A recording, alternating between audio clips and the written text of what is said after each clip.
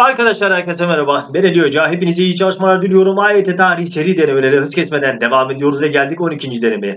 Abone olup bildirimleri açmayı unutmuyoruz değerli arkadaşlarım. Hazırsanız hemen yeni denememizde ilk sorumuzdan başlıyoruz. Sizler için şöyle bir soru hazırlamak istedim. Tarih, geçmişte yaşanmış olayları yer ve zaman belirterek sebep-sonuç ilişkisi içerisinde farklı belgelere dayandırarak objektif bir biçimde inceleyen bilim dalıdır. Buna göre aşağıdakilerden hangisi tarih biliminin özellikleri arasında gösterilemez? Sizlere yer verdim ve tarih biliminin özellikleri arasındaki yerini sizlere istedim. Şimdi nesnel midir değerli arkadaşlarım? Nesneldir. Size bilgiyi vermişim. Ne demişim? Objektif demişim değil mi? Tamamdır. Yer ve zaman belirtir mi? Belirtir. Bunun hakkında da size bilgi vermişim. Tamam. Süreklilik var mıdır? Vardır. Biz bunu sebep sonuçtan çıkaracağız değerli arkadaşlarım. Olaylar arasında her zaman bağlantı vardır. Birden fazla belgeden faydalanacak mı? Faydalanacak. Sebebi ne hocam? Sebebi objektifliğe ulaşmak. Değil mi? Mutlak doğru yoktur değerli arkadaşlarım. Tarihte kesinlik yoktur. Şöyle, şöyle bir örnek verebilirim sizlere.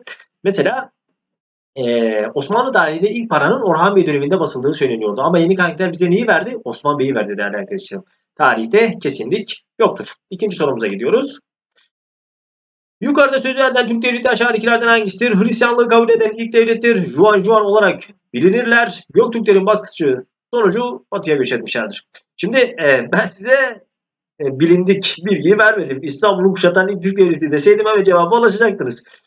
Şimdi bunlar batıya göç ettikten sonra Hristiyanlığı benimsiyorlar. Bunlar kimlerdir değerli arkadaşlarım? Avarlardır. Kumanlar yani Kıpçaklar. Rusların Igor destanına konu oldular.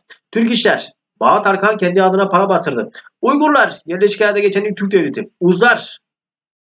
Hristiyanlara biz Uz diyoruz. Türkmenlere biz Oğuz diyoruz değerli arkadaşlarım. Bunu da karıştırmıyoruz. Cevabımız Avarlar olacaktır. Üçüncü sorumuz. Toronoğulları ve Akçitler Mısır'da kurulup Türk İslam kültürüne katkı sağlamışlardır. İki devletin kısa sürede yıkılmasında etkili olan sebep aşağıdakilerden hangisidir? Değerli arkadaşlarım bu iki devlet neden kısa sürede yıkıldı? Onu sizden istiyorum. Türklere geniş görev verilmesi. Bunu kimler yapacaktı? Abbasiler yapacaktı. Bunun sonucunda da zaten tebaif mülk dediğimiz devletler ortaya çıkmış. Yöneticilerin Türk halkın Arap olması. Bak bunu burada bırak. Kampta bunun üzerinde çok durmuştuk. Abbasilerin baskıları sonucu e, yıkılmadılar değerli arkadaşlarım. İkisinin ortak özelliğini ben sizden istemişim. Fatimilerin faaliyetleri biliyorsunuz ki Fatimiler de Şii devletiydi. Onların da baskıları vardı. Ortak özelliği sizden istiyorum. Geniş sınırlara ulaşılması hayır değerli arkadaşlarım. Küçük devletlerdi. Değerli arkadaşlarım şimdi bir ülkede yönetici Türk, halk Arap olursa iletişim kopukluğu olacak mı? Olacak. Otorite zayıf olacak değil mi?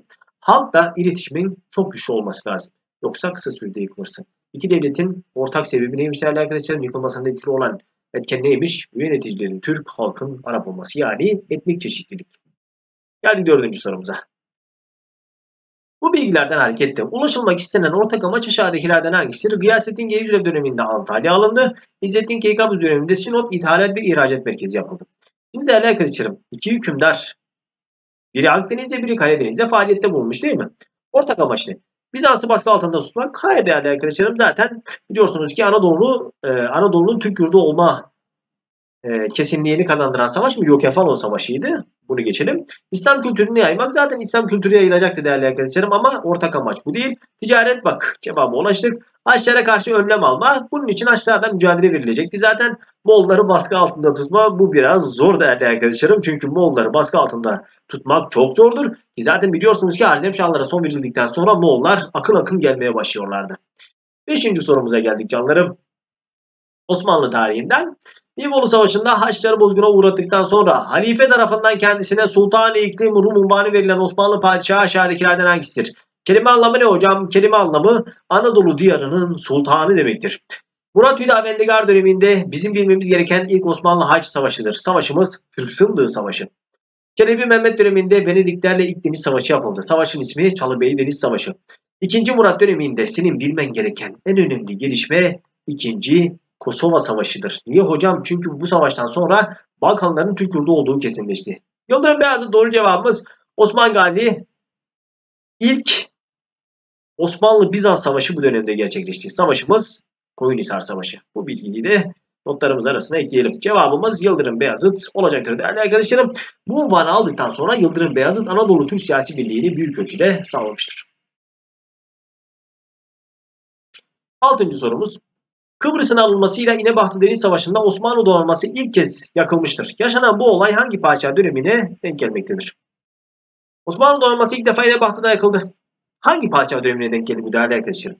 4. Mehmet dönemiyle ilgili bizim bilmemiz gereken vakayı bakvakiyedir. Vakayı bakvakiye ne hocam? Vakayı bakvakiye 30'a yakın devlet adamının çanar ağacına asılması olayıdır. 3. Murat e, biliyorsunuz ki 3. Murat döneminde Takiyüddin Mehmet tarafından ilk rasathane İstanbul'da açılıyor. İkinci Selim doğru cevabımız. Kanuni Sultan Süleyman dönemiyle ilgili bizim bilmemiz gereken Preveze Deniz Savaşı'dır. Akdeniz'in Türk e, Akdeniz'in Türk Gölü olduğu kesinleşiyor değerli arkadaşlarım. Yani Akdeniz Türk Gölü haline geliyor. Birinci Ahmet dönemi ile ilgili senin bilmen gereken Zilvatoruk Antlaşması'dır. Bu antlaşmayla Avusturya üzerindeki siyasi üstünlük kaybedilmiştir. Cevabımız Sarı Selim yani ikinci Selim olacaktır. Yedinci sorumuz canlarım. Osmanlı Devleti hangi antlaşma sonucu İbrahim Paşa antlaşmasında kazandığı siyasi üstünlüğü kaybetti. Az önce bilgiyi verdim. Birinci Ahmet'te bilgiyi verdim. Yanlış yapmıyoruz. Masvar Antlaşması 1664 yılında Avusturya ile yapılan bir antlaşmadır ve bu antlaşmayla Osmanlı'nın Erdel üstünlüğü sağlanmıştır. Seraf Antlaşması 17. yüzyılda İran'la imzalanan bir antlaşmadır. Nasuh Paşa Antlaşması Osmanlı'nın Ferhat Paşa'da kazandığı toprakları geri verdiği antlaşmadır. Zilvatoruk doğru cevabımız. Bucaç Antlaşması ile Osmanlı batıda en geniş sınırlara ulaşmıştır. Padişah 4. Mehmet. Cevabımız Zilvatoruk Antlaşması olacaktır. Protokol açısından Osmanlı padişahı Avusturya Arşidükü'ne denk sayılacaktır değerli arkadaşlarım. Zilvatoruk Antlaşması ile Avusturya üzerindeki siyasi üstünlük kayboldu. 8. sorumuz. Dediğim gibi artık 11'li sorular olacak. Mısır sorununun çözüldüğü Londra konferansına Kabalalı Mehmet Ali Paşa'nın tarafını tutup kışkırtarak katılmayan devlet hangisidir? Bazı kaynaklar bu devletin katıldığını söylüyor. Ama baskın olarak kaynaklarımız bu devletin katılmadığını gösteriyor değerli arkadaşlarım.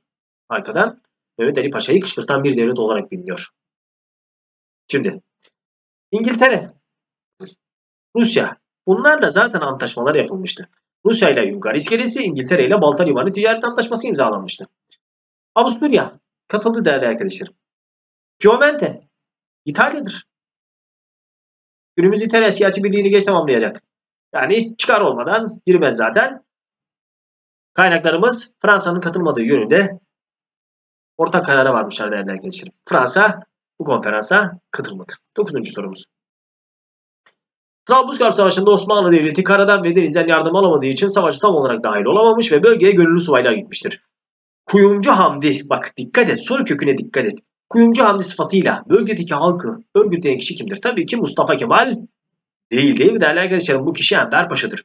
Nuri Joker katıldı, Ali Fethi katıldı. Cemal Paşa hangi cephedeydi? Kanal cephesindeydi Birinci Dünya Savaşı'nda. Mustafa Kemal gazeteci şerif sıfatıyla katılıyor. Ancak kuyumcu ya da tüccar Hamdi sıfatıyla katılan Enver Paşa'dır. 10. sorumuza geldik. Buna dikkat edelim.